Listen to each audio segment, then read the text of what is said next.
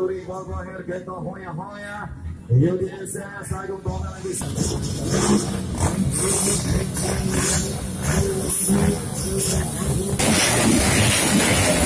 Thank you.